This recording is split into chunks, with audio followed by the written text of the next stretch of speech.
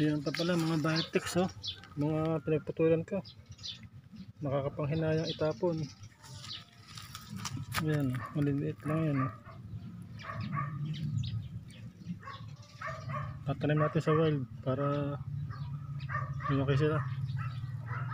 Marami pala akong biotex. Ang dami na. Ayan, okay lang. Ayan oh. Meron pa rito isa oh. May dalawa pala. Ayan. Pinagputulan lang yan ano. Grabe liit. Ito pa isa. Cascade. Ayan o, nakawire na. Ang bayabas.